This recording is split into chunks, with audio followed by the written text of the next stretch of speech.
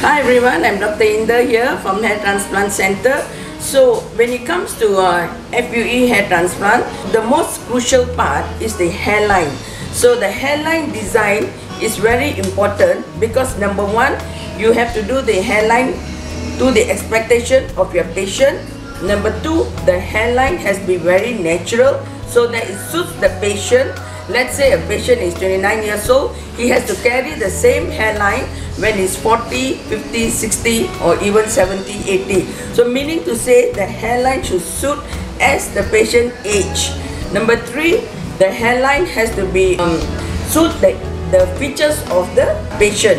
You see, for instance, the Malays have different features, the Chinese have different, and the uh, Caucasian has different, Indians have different. So in my clinic here, I practice, I do the hairline according to the patient's age, the race, and features of the patient. So today I'm going to show you five different kinds of hairlines. So hairline is, uh, today's hairline is very conservative. From here to here is uh, 8 cm. So it's a very conservative hairline. So the design of the hairline suits the features and your the race okay? Okay another hairline design for patient who is 46 years old. This hairline is a conservative hairline design for a patient who is um, has limited amount of donor area. So the grafts are very limited. So a very conservative hairline for this patient.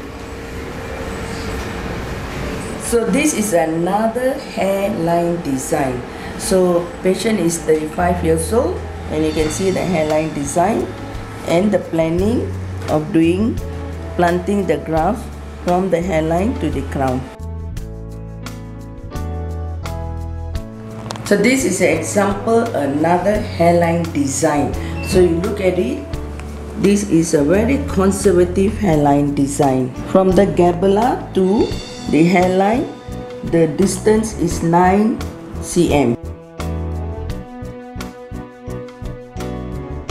I told you earlier, what I plan to do for you is restore your temple point, your temple angle and go all the way hairline and then temple angle and temple point. Okay you got a very good density. Your progressive hair loss is understable so i'm going to actually put up put for you in the front area and i'm going to go up to the crown area.